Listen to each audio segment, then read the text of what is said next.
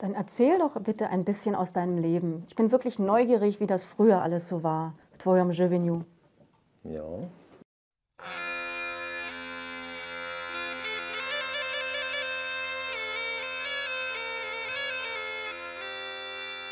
Ja, ja sam Hanso Nepila Roniski, sam se u narodil, a ho sam ja doma.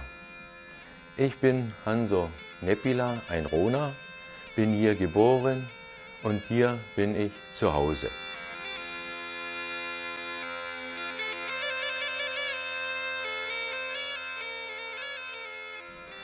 Als Sohn eines leibeigenen Bauern wurde ich am 1. August 1766 geboren.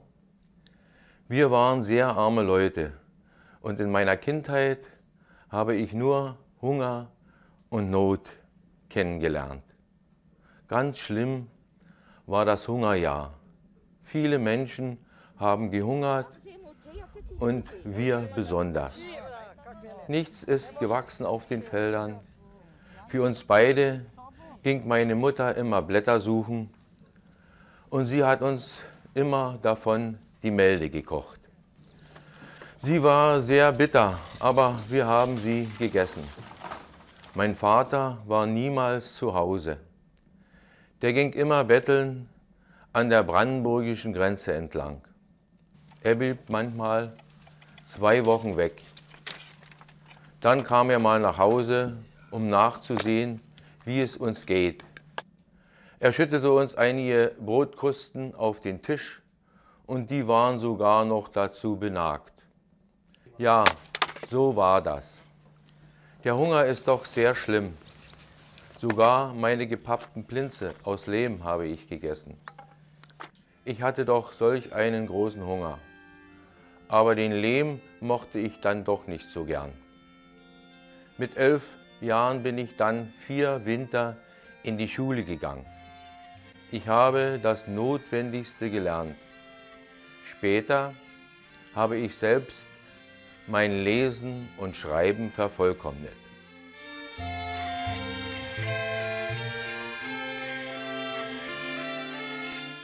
Ich übernahm den vaterlichen Lastbesitz und nannte mich fortan Halbpower in Rhone.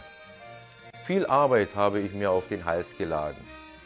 Alles war verkommen, nichts war in Ordnung. Dann fing ich an zu bauen. Das brauchte viel Mühe und Zeit. Jedes Jahr habe ich etwas gebaut. Erst die Scheune, dann die Stallung und den Schuppen. Die nächsten Winter habe ich dann das Wohnhaus zeichnen lassen.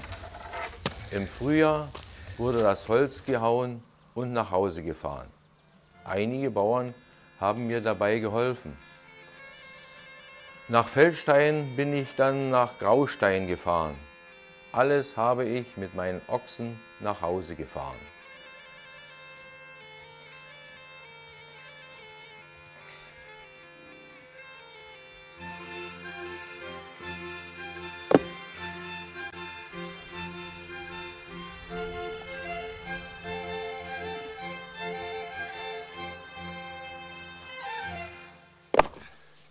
Ja, auch viele Fuhren Lehm habe ich nach Hause gefahren.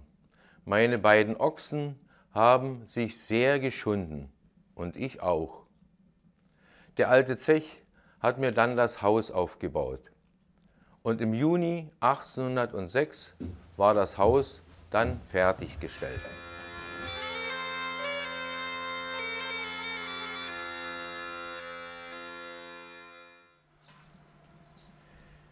Ja, ich habe meine Gegend um Schleife sehr geliebt. Ich bin auf den größten Baum geklettert und habe sie liegen gesehen.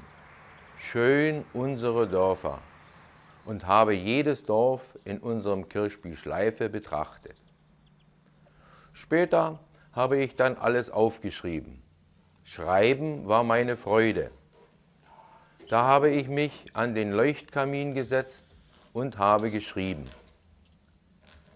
Aber da hatte auch meine Schwiegertochter gesessen und hat mich ausgeschimpft. Du Faulenzer, du mit deiner verflixten Schreiberei. Auch An meiner Hobelbank habe ich gern gearbeitet. In der großen Stube durfte ich dann auch nicht arbeiten, musste in meine kleine Kammer gehen. Ich wollte doch im Winter mein Webstuhl fertig machen. Ja, so war das mit ihr. Immer gab es Zank. Und mein alten Teil musste ich mir auch immer einklagen. Ja, so war das.